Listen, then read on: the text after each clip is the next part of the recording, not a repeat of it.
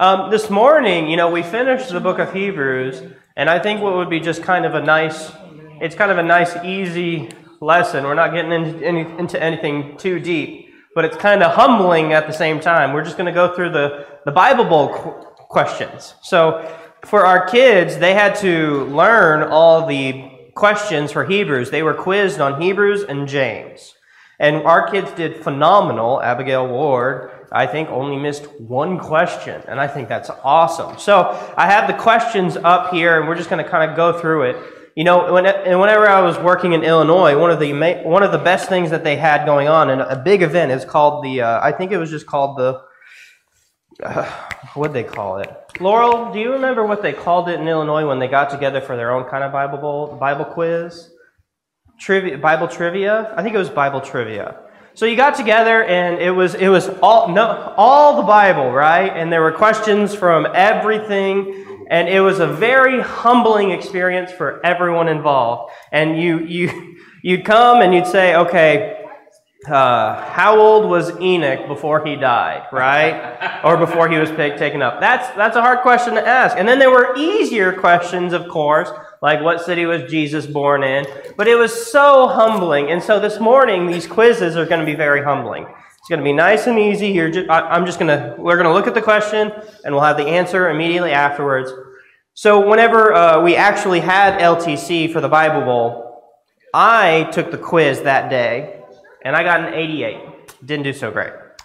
I took the quiz yesterday again, and I am proud to say I only missed two.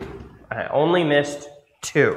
So we'll see how we do this morning. I'm not asking you to keep track of how you do. It's just a nice review. And then at the end, I also want to mention I have a video that I want us to watch. It's from the Bible Project, which I think is an amazing uh, organization, where they try to illustrate uh, Bible principles and books of the Bible, and it just kind of does a really nice overview of the book of Hebrews, and I think that'll be a nice little bit of a review, and we'll do that towards the end.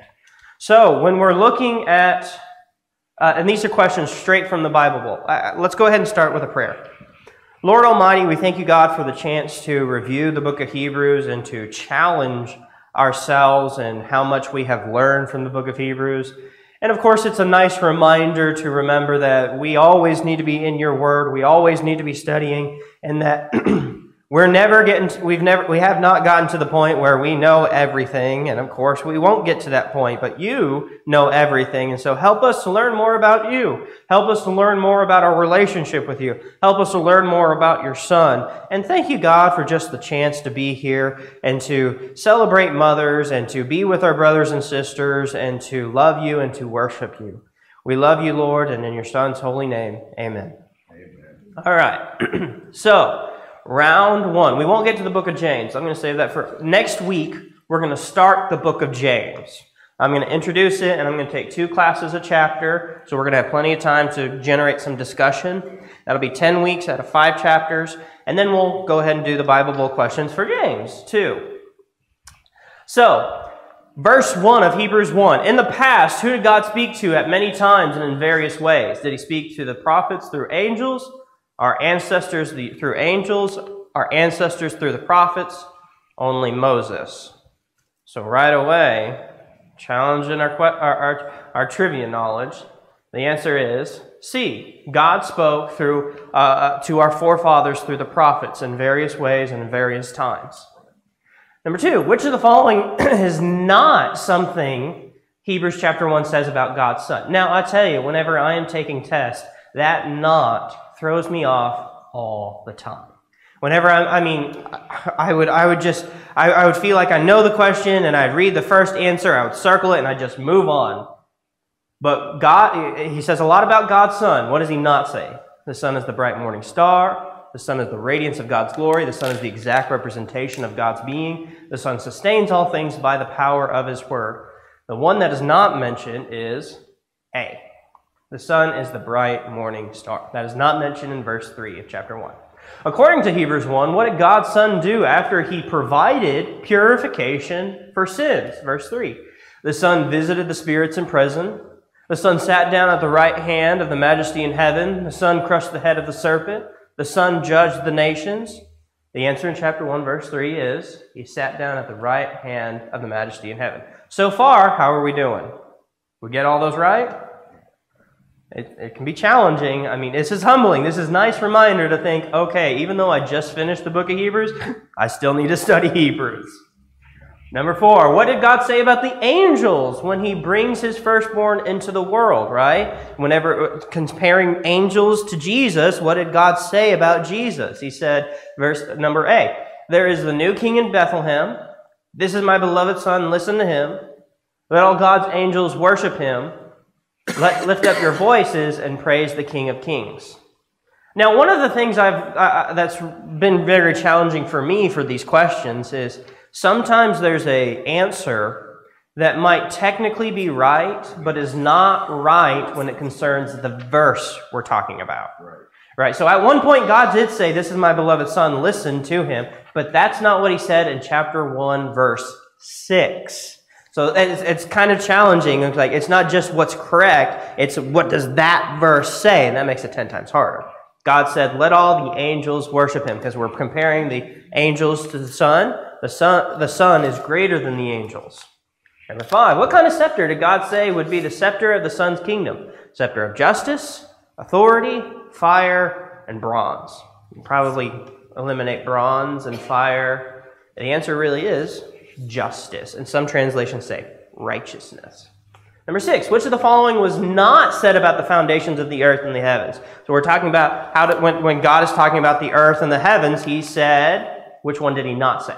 The foundations of the earth and heavens were laid by the Lord, wear out like a garment, will remain, will be rolled up like a robe.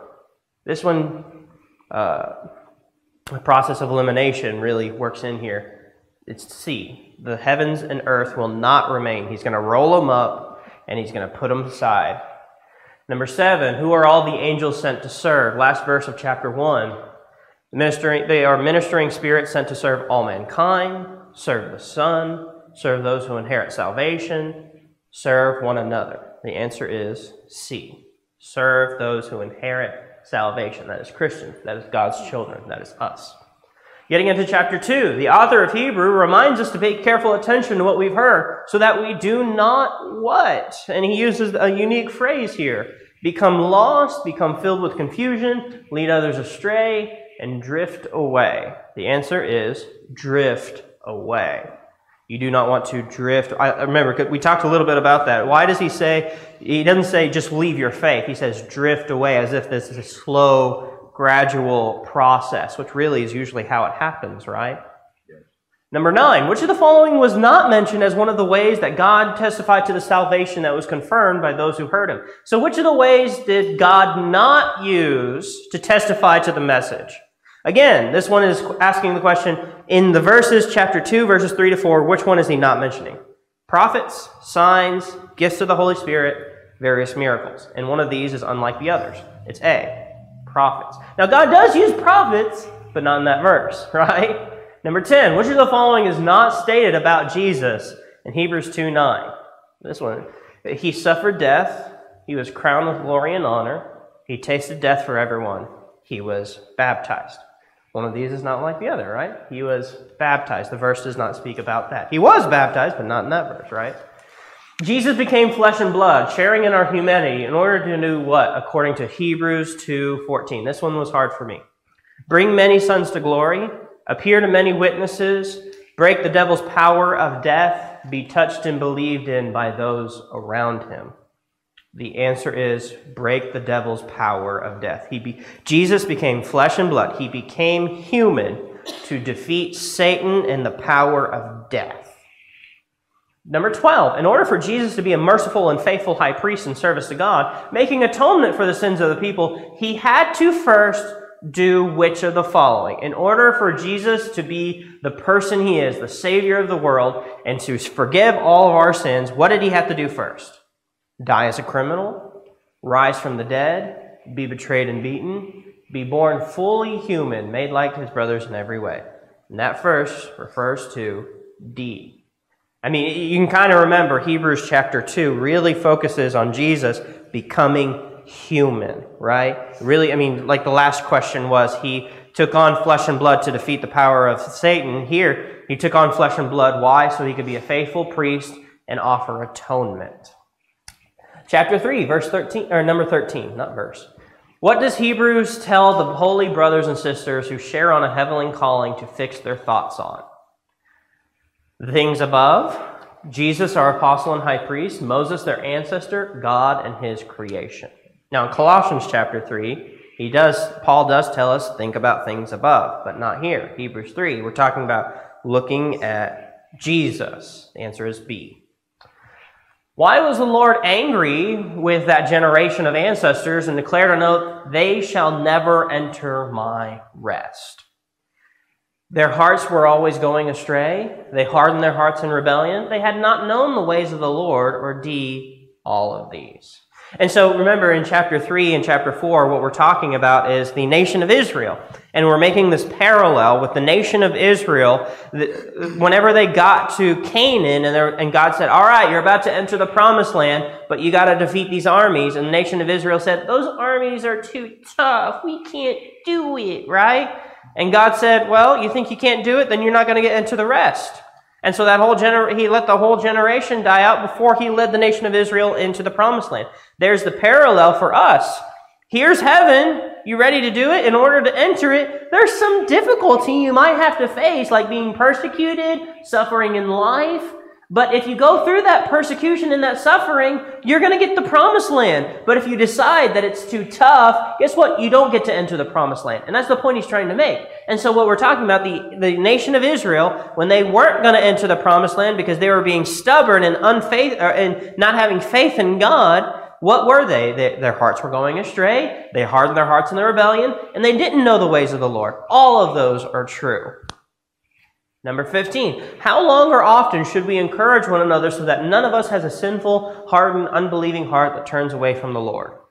Chapter 3 really likes to hit on the idea that it's daily, so long as it's called today. Not weekly, not once a month, not annually, but daily. Number 16, which of the following was not true about those Moses led out of Egypt, right? So the group that Moses led out of Egypt, what is not true about these? According to Hebrews 3 16 to 19. The Lord was angry with them for 40 years. That was true. The bodies of those who sinned against the Lord perished in the wilderness. That was true. The Amorites and Canaanites destroyed them. Is that true? Indeed, God swore to them they would never enter his rest because of their unbelief. That nation of Israel, that, that generation that was going to enter the promised land but didn't, God let them wander around in the desert because eh, if, but until they passed away because he wasn't going to eh, let them enter the rest, so C is not true. Since the promise of entering God's rest still stands, we need to be careful that we do not what? Neglect caring for God's people fall short of God's promises, take this for granted, become stiff necked. And I think this one is a little bit difficult because that verse refers to falling short. Some of these others might be true, but that verse says that you do not want to fall short. Unlike the nation of Israel, we want to enter the promised land. Hebrews 4 3 says that God's work has been finished since when? And you might remember chapter 4 how we're talking about God's rest. Where he makes this parallel that God has been resting and we want to enter into God's rest where we can rest with God. When did his rest begin? The creation of the world, the resurrection of Christ. God is still working. God works will not be finished until the last day. Hebrews says that the creation of the world, on the seventh day, God rested. And he has been resting. Not that God isn't active, but God is no longer creating. And so we're going to enter God's rest when we enter heaven. For the word of God is alive and active, and is able to divide soul and spirit, and sharper than any. And I, I really like some of these answers because uh, Kim, you made these questions, right? And so and I like how she gave she gives you freebies every now and then, right? Pruning shears, Jedi lightsaber. I like I really like that. It, when we were taking the Bible Bowl, it just get it, these kids can get real frustrated and anxious and tense, and it gives a little bit of a levity and like oh, it kind of relaxes you a little bit. The answer is a double edged sword because it hurts not only going but coming back and forth, right? It hurts on both sides. It, it, it not only pierces the people you speak to, but it pierces your own heart. Double edged sword. Since we have Jesus as a great high priest in heaven, what should we hold firmly to? Our living hope, our anchor behind the veil, the faith we profess, the promises of God. And I think this one is C it's C. We have to hold on to our faith. Jesus was tempted in every way that we are, yet he was different in which way, right? It was impossible for him to sin. He was God in the flesh and cannot be truly tempted. He knew every word that came from the mouth of God, and he did not sin. Well, C is true. But verse chapter 4 verse 15, what's the point he's trying to make? He's been tempted in every way, but he did not sin. Number D. You guys doing well so far? I mean, when, when I throw these up, are you guys like, oh yeah, I know the answer? Some of these can get a little hard, right? Some of these are tough. And, and so and those kids that were able to answer all of them so well, I was really impressed. It's, I mean, it's impressive. If those kids can do it, we can do it. I'll tell you that.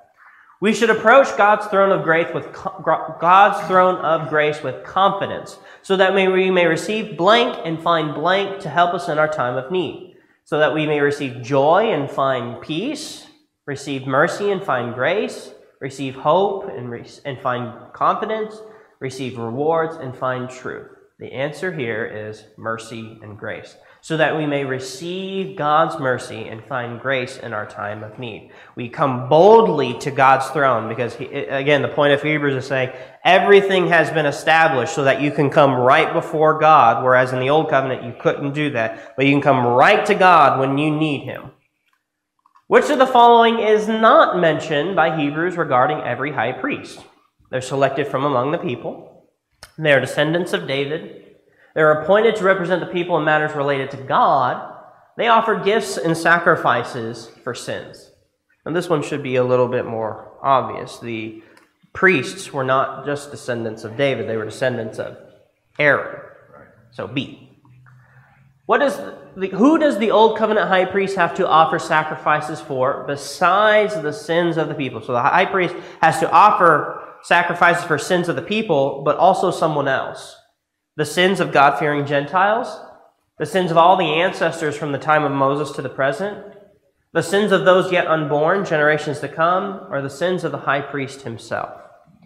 It's deep. And so you can remember how, you know, the book of Hebrews is comparing Jesus and the high priest, right? How Jesus is better than the high priest. The high priest foreshadowed Jesus, but the high priest was just a normal man.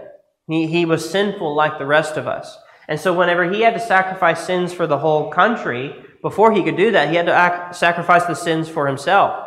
Jesus, did he need to sacrifice sins for himself? No, because he had no sins. And that's why Jesus is so much superior. Number 25. Christ did not take on himself the glory of becoming a high priest. God said to him, You are my son. Today I have begotten, I have become your father. You are a priest in the order of Aaron and Levi, Gershon, Kohath, and Merari. Melchizedek, water buffaloes.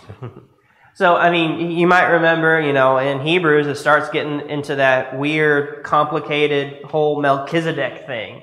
Jesus is a priest like Melchizedek. However, Melchizedek is a priest, Jesus is a priest that way. So the answer is C, Melchizedek. Which of the following was not something that happened during the days of Jesus' life on earth, according to Hebrews 5? Jesus offered up atonement for himself. Well, that didn't happen, right? Jesus offered up prayers and petition. Jesus' prayers were heard because of his reverent submission. Jesus offered up fervent cries and tears to the one who could save him from death. Right? And so Hebrews 5 is making the point that, you know, Jesus, he was sinless, but also he was incredibly obedient to God he was he, he prayed to God and he submitted to God and he's they're trying to bring this point that Jesus reached the pinnacle of faith by being sinless and completely obedient. And of course, if he's sinless, he doesn't need atonement. So the answer is A. He doesn't need atonement. What is the reason it is hard for the Hebrews writer to make things clear to his readers? So we're starting to talk about to his readers. He's saying, I'm having trouble making this clear to you because they no longer try to understand. They need someone to teach them the elementary truths of God's Word all over again. They need milk and not solid food, or D, all of these. The answer is D, all of these. They were being stubborn, they weren't listening, and the book of Hebrews says you should be smarter than this, or you should know more than this. At this point, your maturity should be greater, but instead you're doubting, instead you're having trouble, and I'm having to teach you all these elementary things again when I should be able to move to more complex things. And so he's kind of giving them a little bit of a soft rebuke and trying to say, listen, you're not where you are. You need to be growing. And it's partly because you're not listening. It's partly because you're doubting the things that you already taught. It's partly because you need simple things and not difficult things. Instead of milk, solid food is for the mature who by constant use have trained themselves to blank. Know their right hand from their left hand, distinguish good from evil, live in harmony with those who live on milk, put the needs of others before their own. So he's making that comparison how milk is, is food for children and babies, right? Uh, solid food is food for adults. And so whenever you have that solid food, you're an adult, and that means you're able to what? And the answer here is distinguish good from evil. B. What is not included among some of the elementary teachings that Hebrews 6 lists? And so he gives a list. He's like, I sh- You should know all these simple things, but I'm having to reteach you all these simple things. And part of the list, it does not include eternal judgment, angels and demons, resurrection of the dead, faith in God. And one of the elementary things that he does not include is angels and demons. Falling away from the faith is like doing what? according to Hebrews 6. Spitting in the face of God, throwing yourself headfirst into hell, murdering the Lord's disciples, crucifying the Son of God all over again. The answer is D. Remember, there's this difficult passage where he's saying, listen, if you abandon, there's no sacrifice for sin anywhere else. You're not going to receive forgiveness of sins anywhere else. If you are a Christian and you left, it's like you're putting Jesus on the cross all over again. And so that's the first round. We're going to keep going. Any thoughts or questions at this point? I mean, uh, we really need to appreciate how our kids had to sit down and try to memorize these answers. These are difficult questions, aren't they? And I, again, I want to stress the point if the kids can do it, so can we, right? Right? When they state the question in the negative, mm-hmm. I think those are the toughest. Yeah. When they say not this, or yeah. Walt said whenever it's stated in the negative, it's really tough. And I would agree, they really throw me off. Yeah, what I end up doing is choosing the one that does instead of the one that doesn't. And yeah. You got to be careful you don't do that. Yeah, it's challenging. It's making sure you're paying attention. Okay. God will not forget our work and the love that we show Him in which way? by making burnt offerings, by being a good citizen, by helping and continuing to help his people, by ceasing from our unproductive activities. So God says he's not going to forget our work and our love when we blank. And it is helping and continuing to help his people. Uh, Hebrews likes to focus on helping one another. I think in Hebrews, whenever he talks about ethical things and trying to say, here's the application, a lot of his application is either looking to Jesus or helping and focusing on one another, right? I think that Hebrews likes to have that theme in there. Hebrews 6:18 says it impossible for God to do what? I mean, and there's really only one thing that I think God's scripture actually says God cannot do this. It is impossible for God to do this. Give up, grieve, lie, nothing. And the answer is lie. God cannot lie. And that's a really good thing. Hebrews 6 ends by stating that Jesus is our blank who has become a high priest forever in the order of blank. So if you remember the order of Jesus' priesthood, you got this answer, right? Forerunner, Melchizedek. Jesus is our salvation in the order of Aaron, our anchor in the order of Zedekiah, our king in the order of David. The answer is A. Again, that, that weird, complicated type of priesthood, Melchizedek. Which of the following does not apply to Melchizedek, right? Does not apply. Melchizedek was king of Salem, king of peace, king of righteousness, a Levitical priest. Remember, Melchizedek's priesthood was different than the Levites, so deep. Melchizedek was without each of the following except what? Genealogy, children, father or mother, beginning of days, or end of life, right? And for me, I, I had to think twice about this one. The answer was B. It, whenever talking about genealogy, in the book of Hebrews was trying to make this point, saying, you know, Melchizedek, he was a priest, but it, he wasn't a priest because he inherited it from his parents, right? It wasn't about genealogy, right? It wasn't about who his father was or his mother was. And, and his priesthood didn't really have much of an end or, a beginning because you didn't even read about what happened. And so with Jesus, he's very similar to that in that Jesus wasn't a priest because of who his dad was. Wasn't a priest because he was a descendant of Aaron. He was a priest by a virtue of his incredible life, right? And so you're comparing that to Melchizedek. If a priesthood is changed from the order of Aaron to that of Melchizedek, what also must be changed? The wand, the law, the tenth, the sacrifices? The answer is the law. Right? If Jesus is our high priest, and yet in the old covenant, the high priests were all Levites, and Jesus is not Levite, then he must be a high priest in a different set of laws. So the law had to be changed. Jesus descended from the tribe of Judah and became a priest with, with an oath from the Lord that the other priests did not have. What was that oath? And we're referring specifically to these verses, right? Hebrews 7 14, 20 to 22. You are a priest forever. You will tell the truth, the whole truth, and nothing but the truth. You, have, you will have good fortune.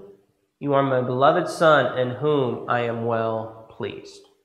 And the answer here is you are a priest forever. When Jesus offered himself as a sacrifice for sin, he did so, blank, conditionally, only for the Israelites, once and for all, and for himself. The answer is he did it once and for all. And that's one of the big points in the book of Hebrews. You know, those priests, they came and they brought a sacrifice, and then the next day, what did they do? They came and brought another sacrifice. They brought another and another and another and another, right? And the idea is if you're having to offer all these sacrifices constantly over and over and over, they must really not be doing anything. But Jesus, he only had to die once, and that one sacrifice was enough for everything, all the sins of all time. And so Jesus' sacrifice is so much more superior. Jesus, our high priest, serves in the sanctuary, the true, true tabernacle set up by blank. You guys remember, what is the new covenant tabernacle? The old, the old covenant tabernacle is the temple, right? The new covenant tabernacle is, you guys remember?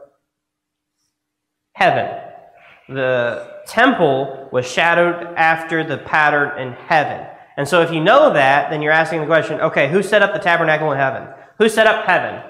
David and his offspring, the angels of God, the Lord, the finger, the finger of God. So it had to be the Lord, right? And so who set up heaven? God. How is the Jewish temple or tabernacle compared to the one that is pictured in heaven according to Hebrews 8, right? So the comparison, the, the tabernacle, the temple was ordered in such a way, the blueprint, the architecture was made in such a way to match the, the blueprint of heaven, right? And so, in what way were they similar? It is an exact likeness, it's a copy and a shadow, it's the radiance and imprint, it is smaller than the temple above. One of the Hebrews' favorite terms, and the idea is a copy and a shadow, right? Uh, here's the real thing, and here's the shadow. The shadow kind of looks like it, but it's lacking a lot of substance. The real thing is so much better than just the shadow. How is Jesus' ministry as a priest in the new covenant described when compared to the priests in the old covenant given to Moses? It is superior, it is similar but heavenly, it is complementary, it is of equal value. This one made me think twice. The answer was it is superior. Because the answer, it is similar but heavenly, it could also be true, right? Complementary, I don't think that one's true. Equal value, definitely not. But you had to think, what does that verse say? And if you really don't remember what that verse says, then you're kind of guessing a little bit, aren't you? Which of the following is not said about the new covenant in Hebrews 8 6? It is superior of the old covenant to the old covenant. It is the, not the final revelation of God. It is mediated by Jesus. It is established on better promises. Again, the answer, the question is, what is not said? So, which of these was not said in chapter 8, verse 6? The answer was B. It is not said that it is not the final revelation of God. So when God tells Jeremiah that he'll give his people a new covenant, as quoted in Hebrews 8, where does God say he'll put his laws? This one is, I think, a little bit easier. In the minds and hearts, hands and foreheads, doorposts, tablets of stone. The new covenant is put on the hands and the, or the minds and the hearts, right? Since the covenant mediated by Jesus is new, what does this make the old covenant? Chapter 8, verse 13. Very important verse. The old covenant is harmful, sinful, boring, obsolete? The answer is obsolete. And so, how people think that we're still under the old covenant is beyond me. The first covenant's earthly sanctuary tabernacle had a room, and so we're talking about the temple, that first section. And so it had a room with a lampstand, a table, and consecrated bread. It's known as inner courtyard, holy place, chamber of secrets, most holy place. There's a holy place and a most holy place. That first one is the holy place. Which of the following is not one of the gold, golden items associated with the most holy place of the tabernacle? So in, remember, in the Ark of the Covenant, what is not in the Ark of the Covenant? The jar of manna, golden breastplate of David, gold covered Ark of the Covenant, golden altar. The answer is the breastplate of David. That is not in the most holy place. What was said about the tabernacle that Christ, the high priest, went through. Christ went through the tabernacle. What was said about it? It was a greater and more perfect tabernacle. It was not made with human hands. It is not part of this creation. All of these are true. Remember, the tabernacle that Jesus focused on, the tabernacle of our new covenant, is heaven. And so, if you can think, okay, heaven was definitely not made with hands. Is heaven part of this creation? I, I don't think that's true. It's not part of this creation. And it is greater and more perfect. The answer, I think, is D. Yeah, the answer is D. The law of Moses required nearly everything to be cleansed with blood, and without the shedding of blood, there is blank. No point in keeping the law, no reason to kill animals except for God, for food, no forgiveness, only false religion. Without the shedding of blood, there is no forgiveness of sins. God said that in order for people to be forgiven, blood has to be shed. Something has to take the place. Someone has to die. And he, by his mercy, he allows substitutes, that Jesus would die in our place. According to Hebrews 9, Christ will appear a second time too. When Christ returns, what's he going to do? Bear sin once and for all? He did that the first time. Offer himself to take away the sins of the many? He did that the first time. Bring the world to final judgment? Bring salvation to those who are waiting for him. Again, again, the C could work, but that verse specifically is talking about D, bringing salvation to those who are waiting for him. What does Hebrews 10:1 say about the law and the good things that are coming? The law speaks clearly of the good things. The law can no longer hold back these good things. The law is a shadow of the good things coming. The law is a foretaste of the good things. Remember, Hebrews loves that term, shadow. So here he's saying the law is a shadow of what's going to come. According to Hebrews 10, what has the sacrifice of the body of Jesus Christ once and for all made us? Now, I, I got this one wrong. Now remember, I got this one wrong. Because in my translation, the word is sanctified. But there are some passages in Hebrews that say makes us perfect, and sometimes the word perfect can be translated as whole. And so I put whole, but the answer is holy. It does not make us happy, it makes us holy. And so it, it, sanctifies us, right? It makes us pure. It makes us set apart and consecrated. The answer is B. The same sacrifices that the priests offer day after day, again after and again, can never do what?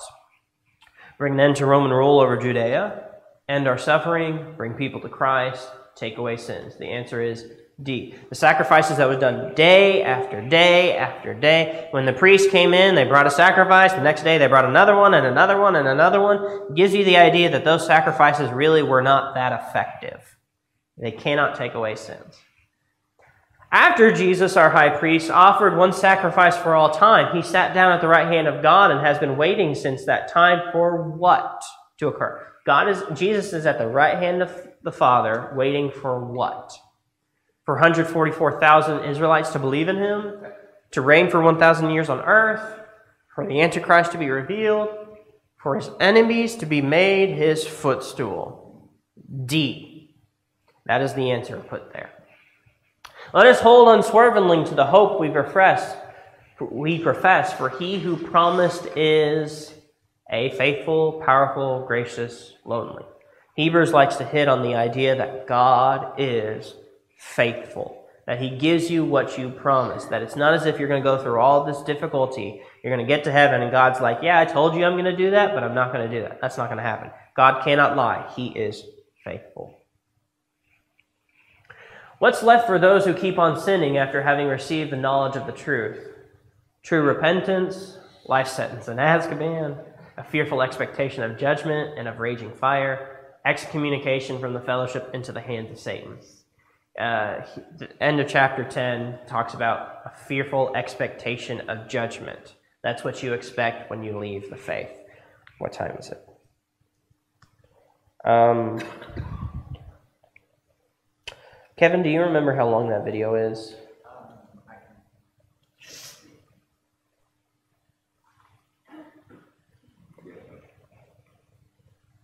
Yeah, we, we let's just go ahead and pull up that video. Uh, how'd you guys do so far? Fair, fair. I mean, it's a nice. I think it's an important reminder to be like, oh yeah, I need to study the Book of Hebrews again. There's so many things that are right that are not the right answer. Right. Yeah. And that's the, the tough part. Oh yeah. I think Kim did a real good di- really good job of throwing in easy questions and hard questions. It was a great mixture of like, okay, I got this one, and one's like, oh, I don't know if I got that one. It was really good test. Okay, so, uh, this video is by Bible Project, and it's going to review the book of Hebrews, and it has some incredible artwork that it does. It's going to kind of lay it out at the end. It's kind of just like one big poster dividing up the book of Hebrews. And I, I love these videos. Uh, for every New Testament book, they have one, and for some more biblical concepts, they have them. The Bible Project is just an absolutely wonderful thing. You can find them on YouTube. Go ahead and play it, Kevin. The letter to the Hebrews. The author of this letter is anonymous, and people have wondered for a long time whether Paul wrote it or maybe one of his co workers like Barnabas or Apollos, but really we just don't know. In chapter 2, we discover that the author had a first hand relationship with the disciples who were themselves around Jesus, so we know that this letter is anchored in the teaching of the apostles. We also don't know who the audience of this letter was or even where they lived. The author knows them really well, and he assumes that they have a thorough knowledge of the Old Testament scriptures, especially the storyline of the first five books of the Bible, the Torah, about how Abraham's family became the nation of Israel, about how Moses led them out of slavery in Egypt to Mount Sinai, where they received the Torah and they made a covenant with God, where they built the tabernacle, where the priests offered sacrifices, and also about how they wandered through the wilderness on their way to the promised land. The author just expects that the readers know all of the details about these stories, and so most likely the audience is made up of Jewish Christians that's where the name of the letter comes from. We also have clues from chapter 10 that this church community was facing persecution and even imprisonment because of their association with Jesus. Some in the community were walking away from Jesus and abandoning the faith altogether. And this explains the purpose and the structure of this letter. First, there's a short introduction, which is followed by four sections where the author compares and contrasts Jesus with key people and events from Israel's history. Jesus is first compared with angels in the Torah, second, with Moses and the Promised Land, third, with priests and Melchizedek, and lastly, with the sacrifices and the covenant. And the author has two main goals in all of these contrasts. The first goal is to elevate Jesus as superior to anyone or anything else, showing that Jesus is worthy of all their trust and devotion. But his second goal is this it's to challenge the readers to remain faithful to Jesus despite persecution. So in every section, he includes a strong warning not to abandon Jesus. So let's dive in now and see how this all unfolds. The elevation of Jesus begins in the opening sentence of the introduction. In the past, God spoke to our ancestors in many different ways, but in these last days, he has spoken to us in his Son. So the author's saying that Jesus is superior to all of the previous ways that God has revealed himself to Israel. He then makes this astounding claim that Jesus is the radiance of God's glory and the exact imprint of God's nature. These metaphors are making the closest possible identification between Jesus and God. So Jesus is what the rays of light are to the sun, or Jesus is what the wax impression is to the signet ring. For this author, there is no God apart from Jesus. Jesus is God become human as the Son. And it's this elevated view of Jesus that's then explored throughout the rest of the letter. In the first section, the author compares Jesus with angels, which might strike you as kind of odd, like why angels?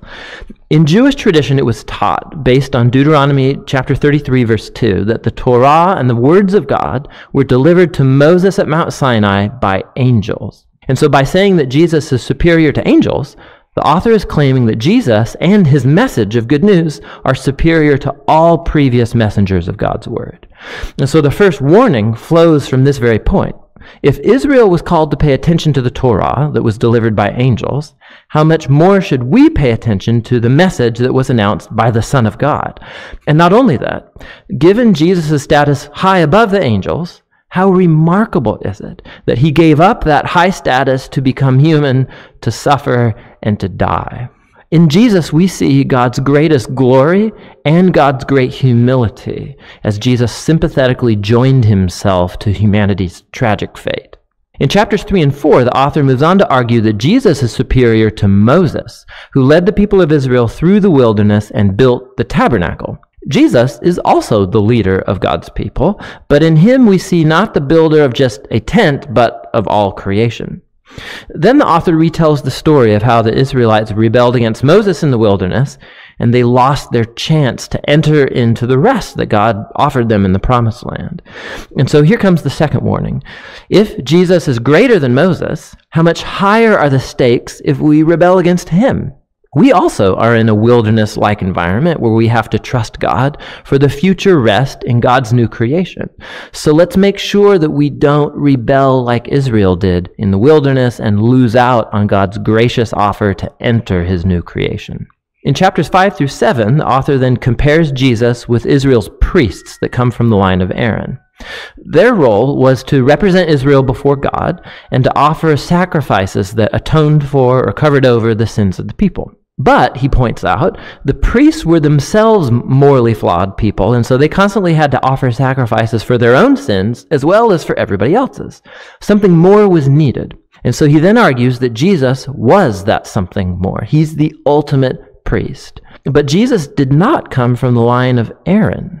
Rather, Jesus was a priest in the order of Melchizedek, that mysterious priest king from ancient Jerusalem, and he appears in the stories about Abraham. We also find in Psalm 110 that the messianic king from the line of David will be a priest in the order of Melchizedek. So the author's whole point is this Jesus is the ultimate priest king.